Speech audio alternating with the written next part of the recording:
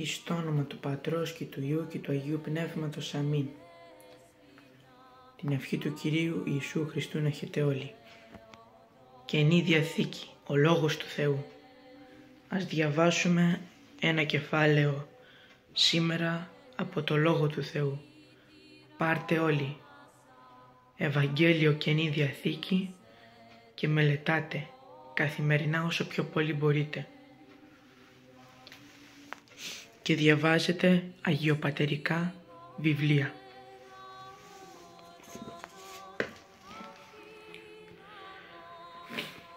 Προς Ρωμαίους κεφάλαιο 12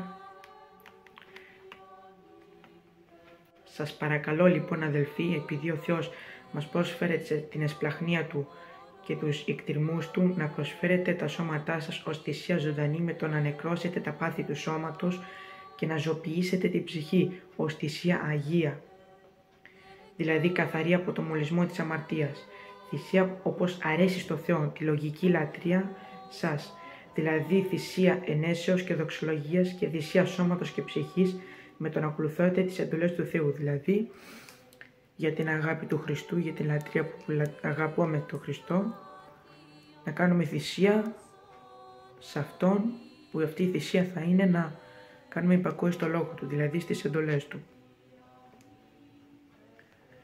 Και να κάνουμε το θέλημά του. Να γυρίσουμε με το πάτριο, να αποτυχιστούμε και να μην δεχθούμε κανένα χαράγμα, να διώξουμε τα στήματα και όλα αυτά, το θέλημά του.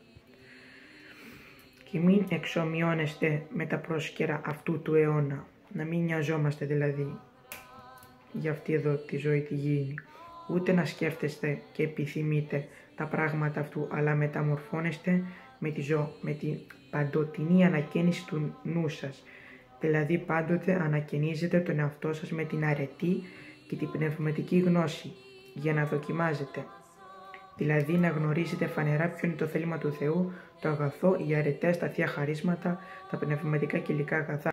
Αυτό που γίνεται όπως αρέσει στο Θεό και αυτό που γίνεται με τελειότητα. Γιατί λέω με τη χάρη του Θεού που μου δόθηκε σε καθένα από εσάς να μην υπερηφανεύεστε για τα πράγματα που δεν πρέπει. Να έχετε μέσα σας υψηλά νοήματα σχετικά με τα ουράνια και όχι τα γήινα και να μην υπερηφανεύεστε απέναντι στους άλλους. Αλλά να σκέφτεστε και να ενεργείτε με ταπεινοφροσύνη για τα χαρίσματα που σας κάνουν να υπερηφανεύεστε. Ο καθένας κατά το μέτρο της πίστης που του δόθηκε γιατί όπως ακριβώς σε ένα σώμα έχουμε πολλά μέλη και όλα τα μέλη δεν κάνουν το ίδιο πράγμα, έτσι και οι πολλοί είμαστε ένα σώμα συνδεδεμένοι με την κεφαλή των Χριστό και ο καθένας μας είμαστε μέλη ο ένας του άλλου.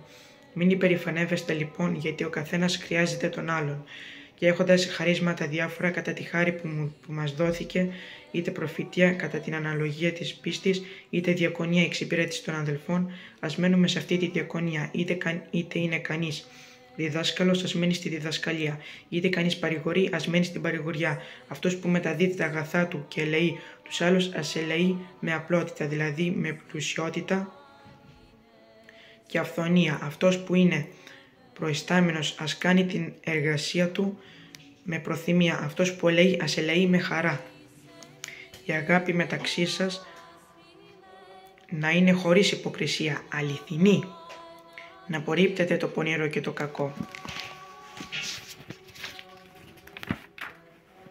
Και να είστε προσκολλημένοι στο καλό και στις αρετές, στην αγάπη προς τους αδελφούς να είστε πολύ συμπονετικοί και φιλικοί, στην τιμή να τιμάτε πρώτα εσείς τους άλλους, στην προθυμία να μην γινόσαστε οκνηροί τεμπέληδες, αλλά η προθυμία να εκδηλώνεται με έργα, να είστε θερμοί στο πνεύμα, δηλαδή να εκτελείτε το θέλημα του Θεού με προθυμία και θερμότητα καρδίας, να υπηρετείτε τον Κύριο με την ελπίδα των μελών των αγαθών, να χαίρεστε και να υπομένετε τις θλίψεις.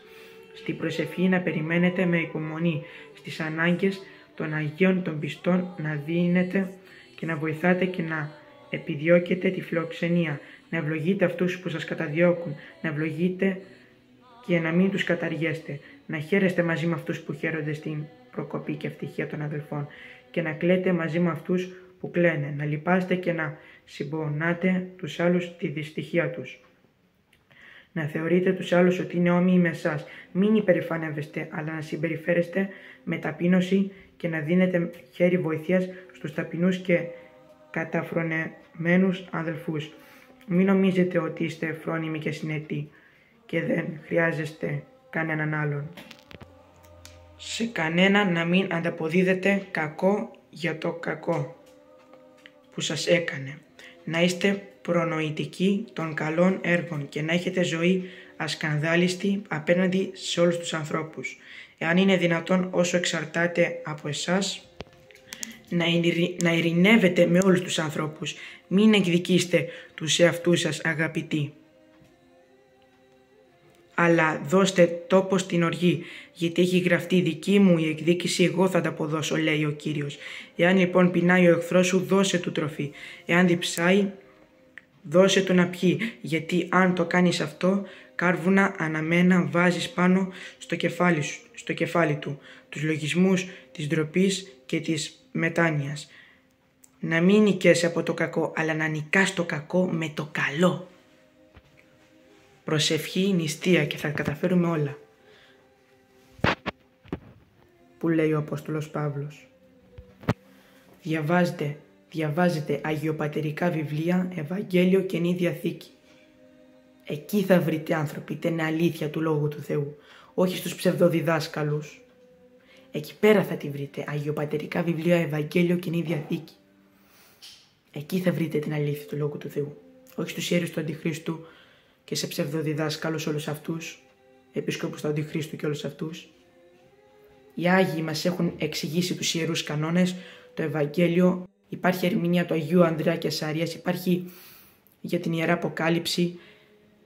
Οι Άγιοι μας μας τα έχουν εξηγήσει όλα, Ευαγγέλιο, Αποκαλύψεις, Ιεροί κανόνες μας τα έχουν εξηγήσει όλα. Δεν έχετε ανάγκη τους ψευδοδιδάσκαλους που σας οδηγούν στην κόλαση διευχών των Αγίων Πατέρων ημών, Κύριε Σου Χριστέ ο Θεός, ελέσον και σώσον ημάς. Αμήν.